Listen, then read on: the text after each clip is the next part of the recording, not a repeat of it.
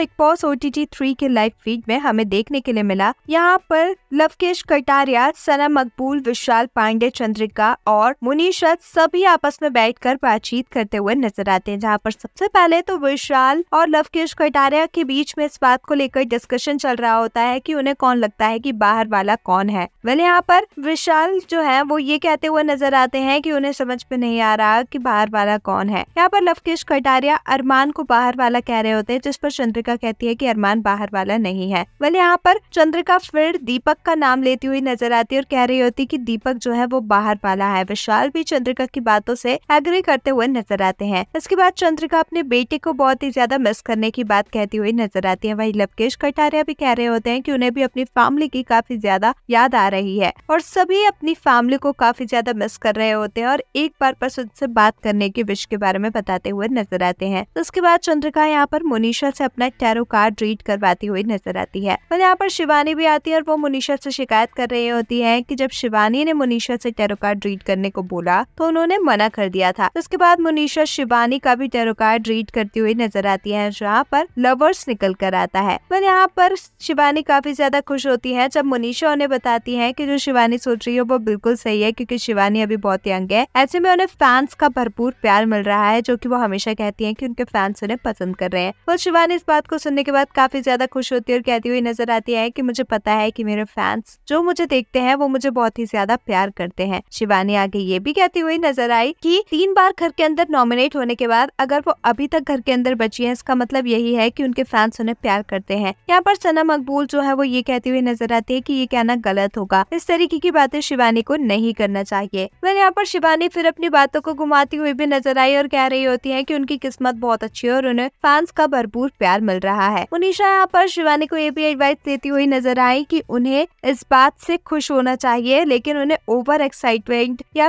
फिर over confidence में नहीं जाना चाहिए। वेल आपका शिवानी की कई इन बातों पर क्या कुछ है कहना, हमें कमेंट्स में ज़रूर बताएँ। ऐसी ही अपडेट्स के लिए हमारे चैनल को सब्सक्राइब करें।